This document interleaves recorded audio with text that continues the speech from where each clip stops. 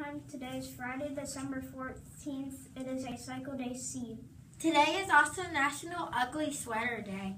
Did you know that the trend of wearing ugly sweaters were, were a trend started by characters on TV shows and movies? Their popularity has grown ov- over the past few decades.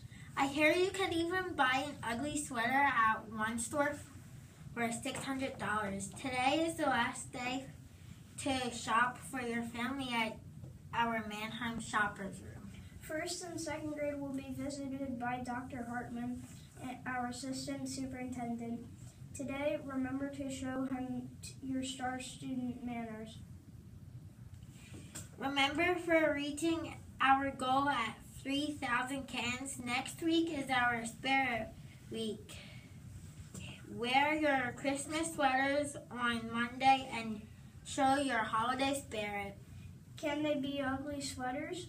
Of course, wear cute sweaters if you want. Just don't go buy the $600 sweater. This will be fun.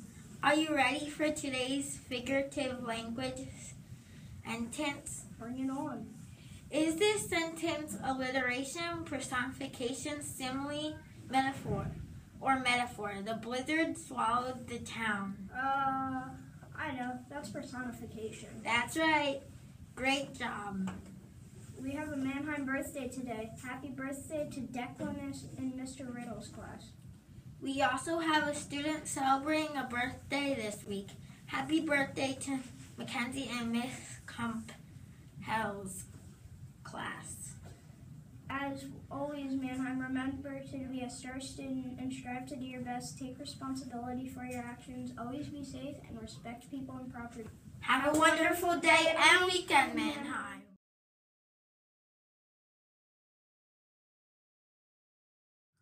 Congratulations, Manheim. We did it! Because we brought in 4,559 cans, we have earned the Spirit Week for next week. For the Spirit Week, Monday will be Christmas Sweater Day.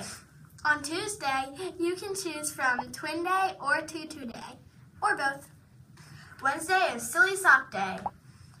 And Thursday is Hat Day. And Friday is PJ Day.